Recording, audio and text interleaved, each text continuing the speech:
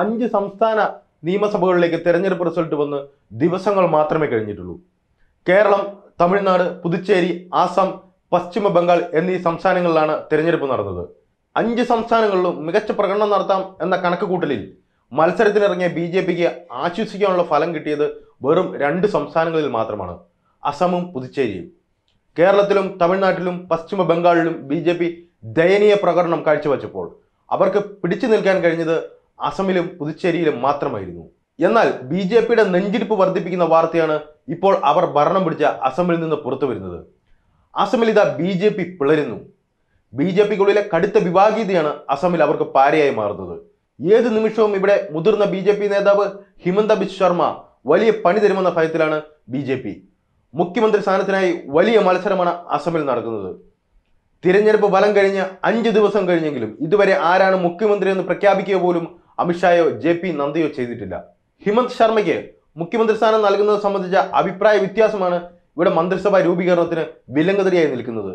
വടക്കു കിഴക്കൻ സംസ്ഥാനങ്ങളിൽ ബി ജെ പിയുടെ നിലനിൽപ്പ് തന്നെ ആശ്രയിച്ചിരിക്കുന്നത് ഹിമന്ത് ശർമ്മ എന്ന നേതാവിലായതിനാൽ തന്നെ വൻ പ്രതിസന്ധിയാണ് ബി ജെ പി ഇപ്പോൾ അവിടെ നേരിടുന്നത്.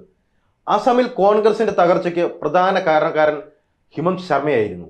കാരണം ഇദ്ദേഹം കൂറുമാറി ബി ജെ പിയിൽ എത്തിയതോടെയാണ് കോൺഗ്രസ് ഇവിടെ തകർന്നതും ബി ജെ പി ഇവിടങ്ങളിൽ ശക്തി പ്രാപിച്ചതും. എന്നാൽ കോൺഗ്രസിൽ നിന്ന് കൂറുമാറിയെത്തിവരെ ഒരിക്കലും ബി ജെ പി വലിയ സ്ഥാനങ്ങളിൽ നിയമിക്കാറില്ല. മുഖ്യമന്ത്രി സ്ഥാനം ഒരിക്കലും കോൺഗ്രസ് വിമതർക്ക് നൽകാറുമില്ല. ഹിമന്തയുടെ കാര്യത്തിലും അതുതന്നെയാണ് സംഭവിച്ചത്.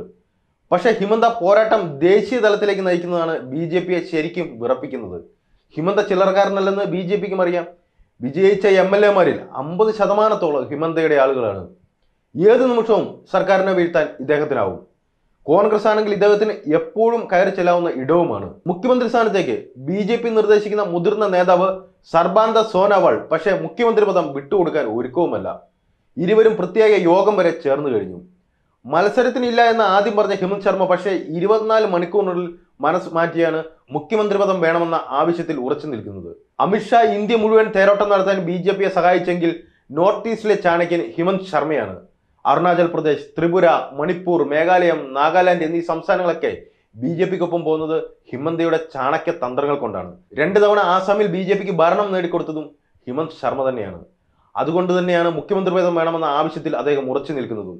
എന്നാൽ ഇത് അംഗീകരിക്കാൻ സംസ്ഥാന ബി ജെ പി നേതാക്കളും തയ്യാറാവുന്നില്ല. ഇന്നലെ കൂറുമാറി വന്ന ഒരാളുടെ കീഴിൽ പ്രവർത്തിക്കാൻ കഴിയില്ലെന്നാണ് സംസ്ഥാന ബി ജെ പി നേതാക്കൾ പറയുന്നത്. ഇതോടെയാണ് ഭരണം നേടിയിട്ടും മന്ത്രിസഭാ രൂപീകരണം ആസാമിൽ ബി ജെ പിക്ക് കീറാമുട്ടിയായിരിക്കുന്നത്. ബി ജെ പി നേതൃത്വം ഇനിയും വഴങ്ങിയില്ലെങ്കിൽ പാർട്ടി വളർത്തി തന്റെ ഒപ്പമുള്ള എം എൽ എമാരെയും കൊണ്ട് ഹിമന്ത കോൺഗ്രസിലേക്ക് തന്നെ മടങ്ങിയേക്കുമെന്നാണ് അസമിൽ നിന്നും പുറത്തുവരുന്ന റിപ്പോർട്ടുകൾ. അത്തരത്തിൽ സംഭവിച്ചാൽ അത് ബി ജെ പിക്ക് കനത്ത തിരിച്ചടി തന്നെയാവുന്ന കാര്യത്തിൽ സംശയം വേണ്ട.